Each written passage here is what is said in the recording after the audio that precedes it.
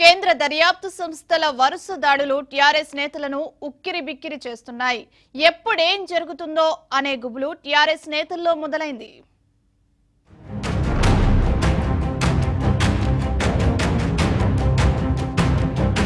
కేంద్ర దర్యాప్తు సంస్థల వరుస తనిఖీలు సోదాలతో టీఆర్ఎస్ నేతలు హడలెత్తిపోతున్నారు.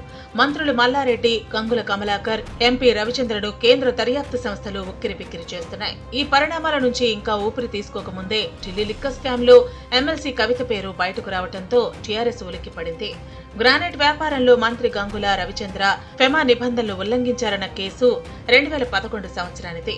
రెండు వేల పదమూడులో విజిలెన్స్ ఇచ్చిన రిపోర్ట్ ఆధారంగా ఈడీ విచారణ చేస్తోంది. అయితే ఇప్పుడు గంగుల రవిచంద్రను టార్గెట్ చేయడం చర్చనీయాంశమైంది.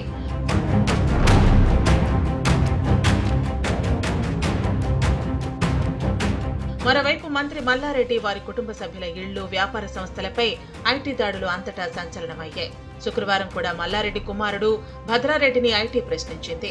గత మూడు రోజులుగా ఐటీ కార్యాలయానికి మల్లారెడ్డి కుటుంబ సభ్యులు విచారణకు హాజరవుతున్నారు. త్వరలోనే ఈ కేసును ఈడీకి బదిలీ చేసే అవకాశం ఉంది.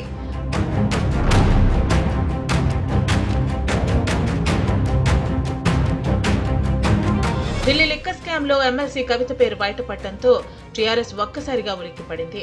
కేసులో ఈడీ మరింత దూకుడుగా ముందుకు వెళితే ఎలాంటి పరిణామాలు చోటు చేసుకుంటాయో అనే ఆందోళన టీఆర్ఎస్లో కనిపిస్తోంది. ఈడీ ఐటీ సిబిఐ వరుస దాడులతో టీఆర్ఎస్లో అలజడి రేపుతోంది. టీఆర్ఎస్లో మెజార్టీ నేతలు రియల్ ఎస్టేట్ ఇతర వ్యాపారాలు చేస్తున్నారు. భారీగా డబ్బులు సంపాదించారని ఆరోపణలు ఎదుర్కొంటున్నారు. ఎమ్మెల్సీ కవితతో పాటు మంత్రుల వ్యవహారం బయటపడటంతో తమ పరిస్థితి ఏంటోనని గులాబీ నేతలు గుబులు పడుతున్నారు.